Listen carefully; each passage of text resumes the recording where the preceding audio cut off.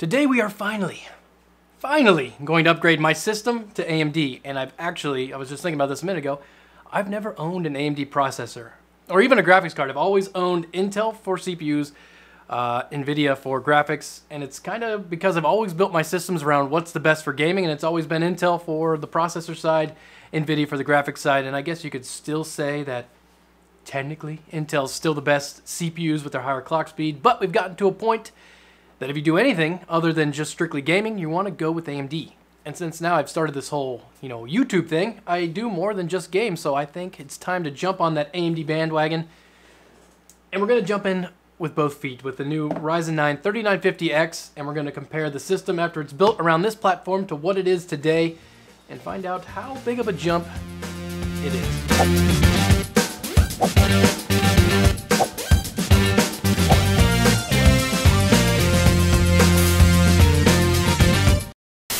We get busy tearing this all to pieces to rebuild it, we should probably talk about how the system is now because that's what we're basing all of our new numbers against. We're trying to see what kind of gains we're getting by going with AMD. So right now we're sitting at an i7 7700K at 5 gigahertz.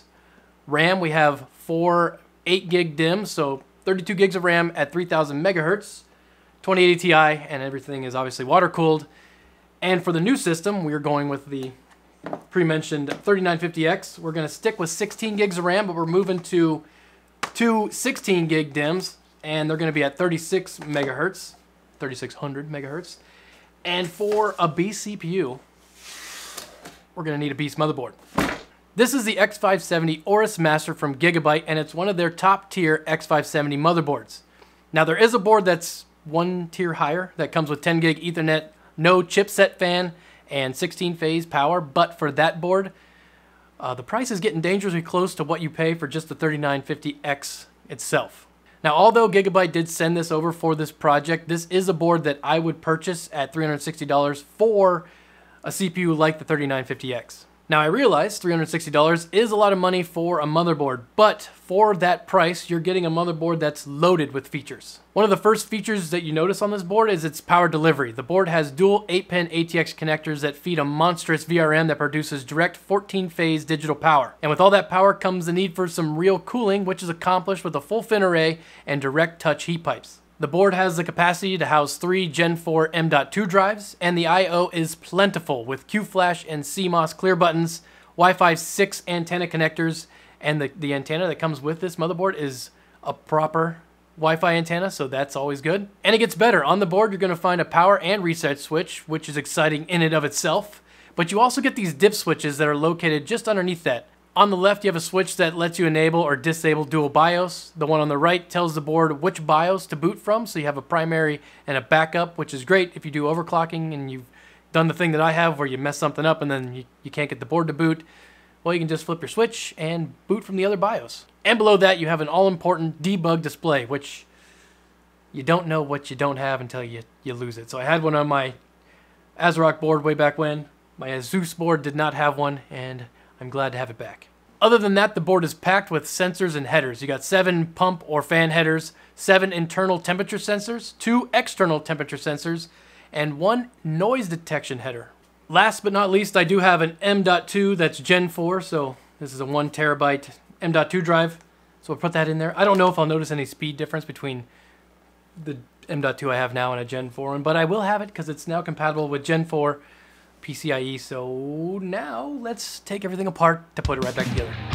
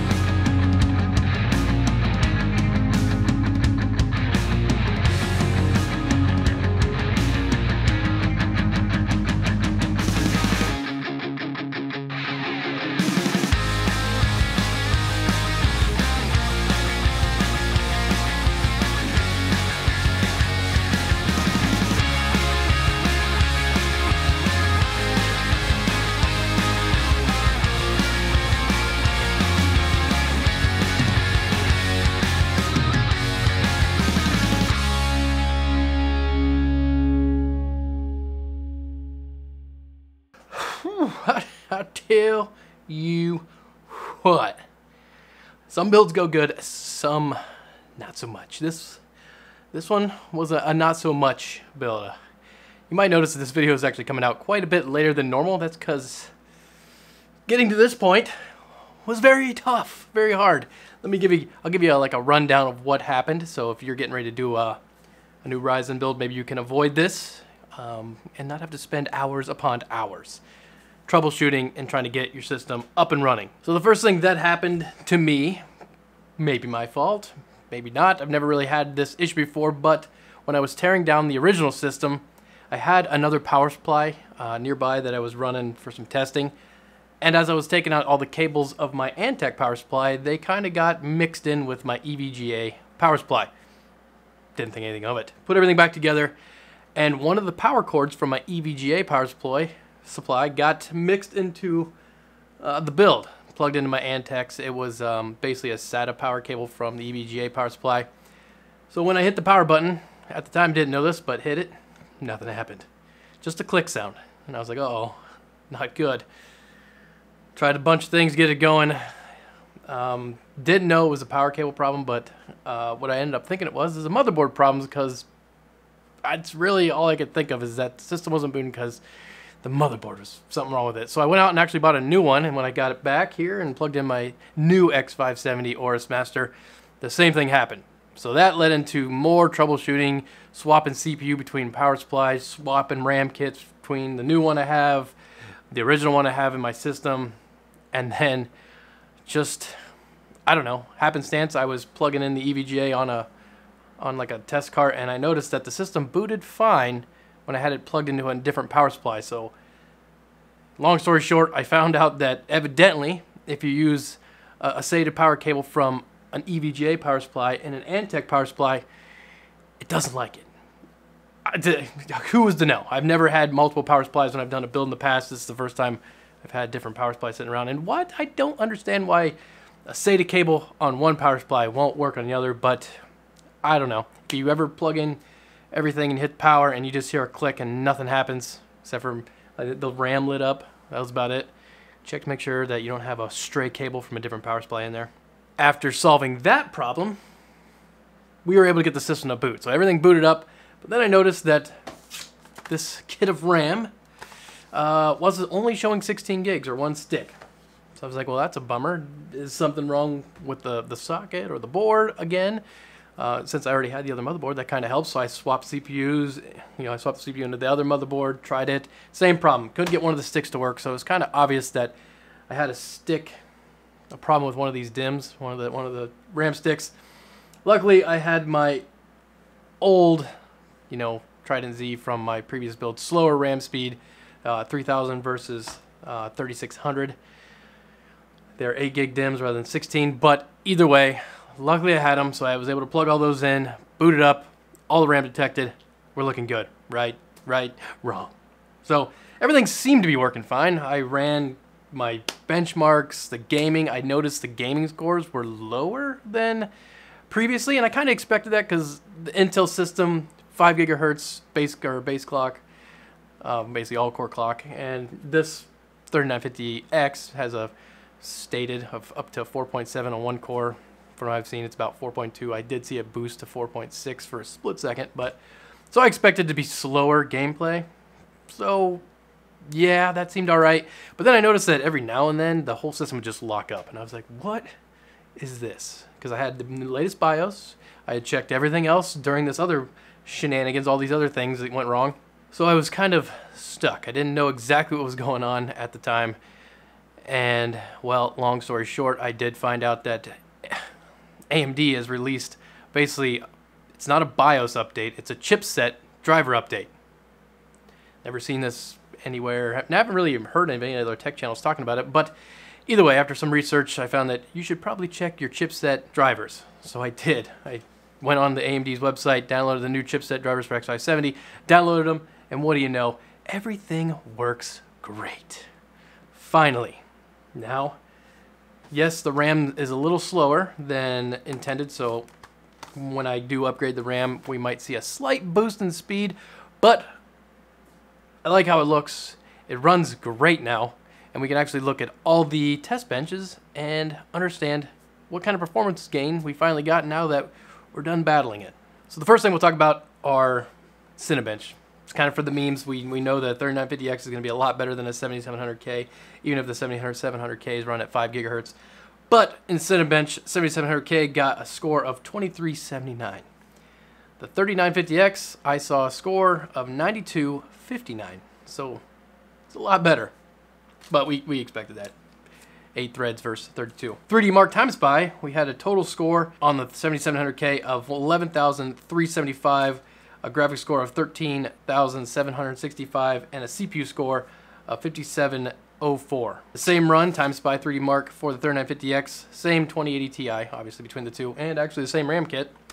We saw a total score, or a system score of 13,385, a graphics score pretty much the same, 13,440, and a CPU score this time around of 13,082.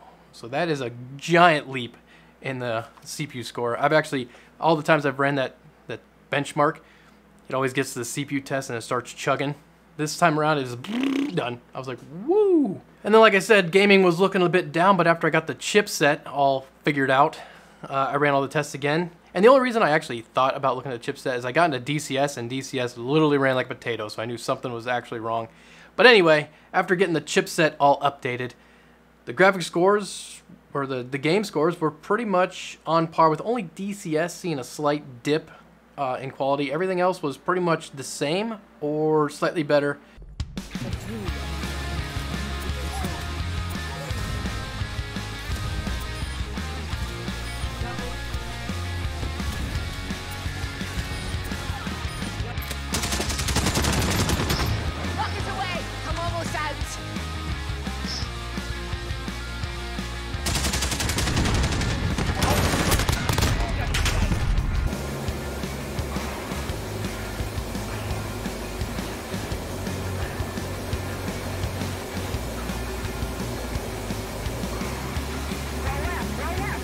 But all that aside, it doesn't really matter because when we come back to it, the reason I wanted such a high core count, high thread count CPU was because of the potential workload or the work savings when it comes to rendering videos. So I took that same 4 minute 39 second clip uh, on DaVinci Resolve 16 and when I rendered it out on the 7700K it took a whopping 10 minutes 49 seconds for just that 4 minute 39 second clip.